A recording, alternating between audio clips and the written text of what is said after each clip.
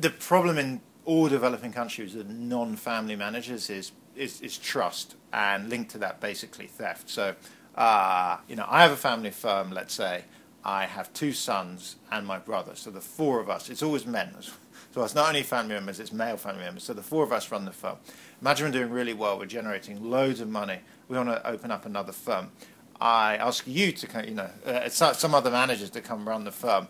The big problem is typically I may find them stealing stuff. Now, in America, if you found them stealing stuff, you take them to court, you prosecute them, you throw them in prison, you take back their assets, you'd seize their house, fine. So as a result, they probably wouldn't steal in advance. I mean, there's theft in America, but less so.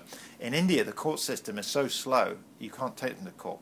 And everybody knows that. So the problem is the threat, if you catch somebody stealing, is frankly pretty weak and as a result, plus the fact they're badly managed, so it's hard to catch them. So the combination of making it hard to catch them, plus there's not much comeback if you get caught stealing, means outsiders tend to steal. Therefore, families never trust them. So always it's family members running the firm. And in fact, when you ask them, you know, even what about cousins? What about second cousins, sons-in-law? Even there, they're very nervous.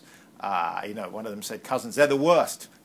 Never trust cousins. Uh, and I asked about son-in-laws. He said, well, you know, I can get really angry with my son, but I can't get angry with my son-in-law without breaking up my wife's marriage. So that creates serious problems because you're only relying on family members. And that also generates this huge spread. You know, some people are brilliant managers. They have fantastic firms.